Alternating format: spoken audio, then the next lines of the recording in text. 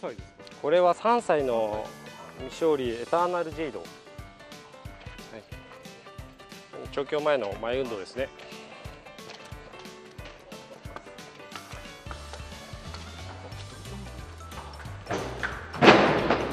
巻いた方がいいよ。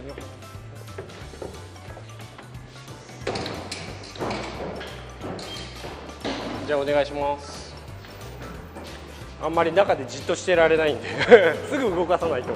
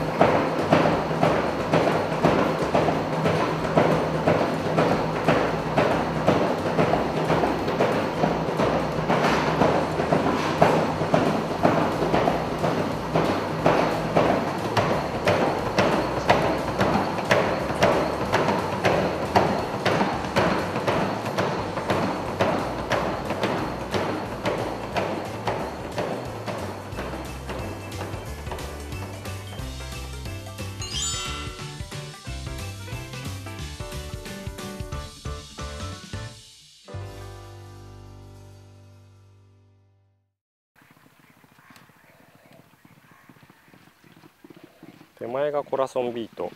奥がコスモビオラ。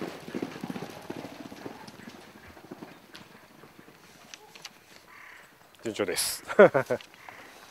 あどうぞ。早い。早い。ですよ。これがさっきのあのコラソンビートとコスモビオラでもうこの2頭はもう本当にもうポンと出るのでもうあんまりもうやりすぎないようにして。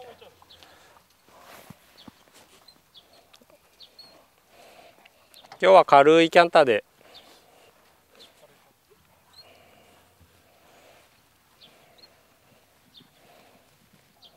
いやでもこのコラソンビートは早かったですね。いや早かったですね。早かったです多分乗ってるスタッフも気持ちいいと思います。もうそういう感覚ですか？あのいやっぱりいい馬なのはもう分かってるんで、はい、スワーブ・リチャードのそうですねはい。POG の撮影でもあの押させてもらいました。ですよね、はい。え先日あのナミさんから、そのおすすめ馬としてはい。話が上がってきたまで、でもやっぱり実際今走ってる姿見たらそうだなと思うぐらいのやっぱりスピード感と、本当いいものだなと思いますね。コスモビオラも本当評価高い、そうですね。はい。本当にあの仕上がりが速くてスピードあって、うん。あの早い時期からいけるなっていうえ確信がー確信が。あります、えーはい、あのヘニーヒューズの子ですけど、はい。やっぱりこれも芝からもいけそう。そうですね。芝ダートいけそうな感じはしますね、ええ。はい。あのダート一辺倒っていう感じもしないですしほうほうほう軽手先の軽さもありますし、えーはい、いいとこあると思いまですすね、ヘニーヒューズもまあ結局はその芝でも活躍も出てますし、うん。まあ本当ダートを得意としてるのは間違いないですけど、まあでも今のその行きっぷりの良さや完成度からしたら本当これ2歳戦が楽しみですそうですね。早い時期からあのいっぱい走ってくれないかなって期待してます。でも先ほどのコラソンビートはちょっとキノディもねなんか思い入れがあるそうで。あ本当ですか？え。抽選外れました。抽選でしたよね、あ。れね。そうですねはい早かったですね、はい。すごい人気でしたよね。緩く見えてはいはい。あのあんまりシャキッとした感じをしなかったんで出来上がってくるのはゆっくりかなと思ってたんですけど、うん。まあ、早いとこ始めたらやっぱアクションが良くてああのじゃあもうちょっとやってみようかもうちょっとやってみようかって言ったらあのどんどんどんどん。上がってきちゃいましたね。はい。へやっぱそういう馬の方がやっぱり楽しみというか、やっぱり成長力を感じるだけにうん。なんかどんどん向こうでも良くなるんだろうなって期待値も膨らんできますもんね。そうですね、はい、もう本当にあのスピード一辺倒じゃないというかほうほあの向きになって走ってるわけじゃないですし、うん。あのゆとりありますしフットワークに、ー。聞けば聞くほどキノディが苦虫を 今の走りを間近にして。まあ抽選で外れたんですけど、他の馬がちゃんと当たってあ本当ですか？それがちゃんと入って。どれですか？て、ラストクリスマスだそうです。あカービシャス、ええ。うん発掘で評価高いですよね。ほら、ほら。ですよ。ちょっと嬉しいです。うん。え それなんか私利私欲のチャンネル。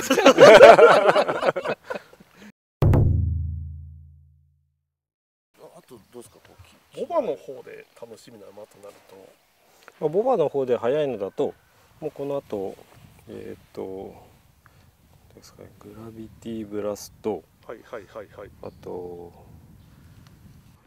グレンの嵐あグレンの嵐とはいグラビティブラストが、はい。あの東京で行きます。はい。だそうですね。明和からはさっきの牝馬2頭と、うん。あコラソンビーターはもしかしたら福島かもしれないですけど、はいえー、とグラビティブラストグレンの嵐。はい。あとオレンジブルボンっていう、まあ、ジョーカプチーノの子がいるんですまあ、それがダートの方で。ダートの専用かな。おで行ければまああそこがいつも混むんではい。使えるかわかんないですけど、うん。まあでもあのたこの2頭が東京の芝の速いところで行きます、でグラビティブラストがそのお父さんが里里のアレスのアレスなんですよ。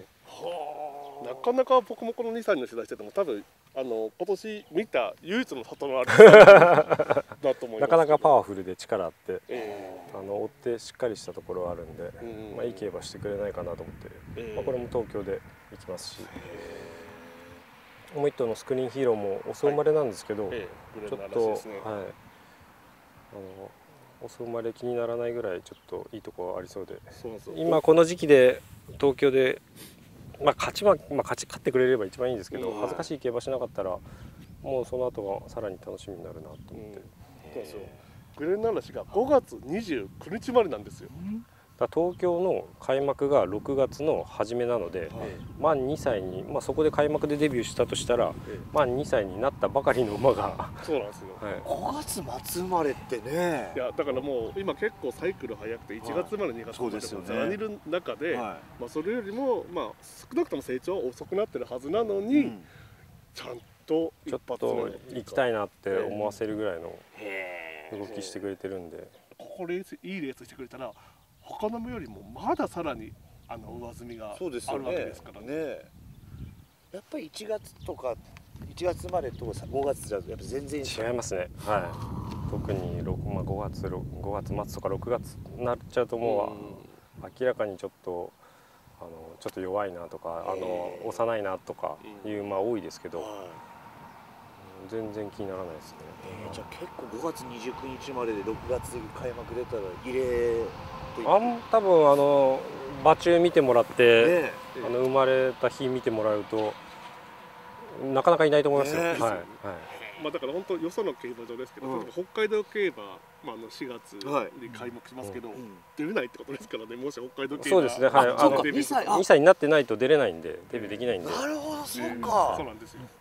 あいやだからこれもちょっと6月デビューって考えた時にあの東京の新馬戦の日付見ましたもん。あろ5月末だったら開幕ダメだなとか、一緒違ったらダメでしたあね スクリーンヒーローも本当大物が出てくる種馬だけにそうですね。はい。楽しみですよね、うん。ここで。で出てなかったなえオレンジブルボン。オレンジブルボンも速い。ジョーカプチーノの男の子で、うん。はい、あのダートのレースを東京で目標に、えー専用あります。ねそうですね。結構毎年ね。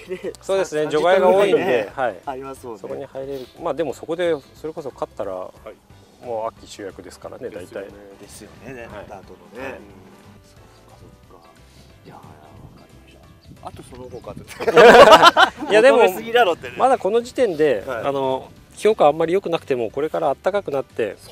あの本当にこの放牧地でゆっくりして、うん。でもう一回乗り始めたらガラッと変わる馬もいるんで、へまあ、それはそれでそういう馬もいますしまあ、馬それぞれです。いやだから POG でどうしてもその春先のまあ3月ぐらいに試合をしてもらそうですよね。うん。実を言うとそこで名前が出てなかった馬がはい。走ってて、ね。えっていう。意外とそういう馬も多いですからね。ですよね、うん。なんで教えてくれなかったんだと思うんですけどたまたまその時出てなかっただけだったっていうことは結構ありますよ、でも先ほどねコナンさんの話もそうですけど急によくねなってきたってはいあるから、い。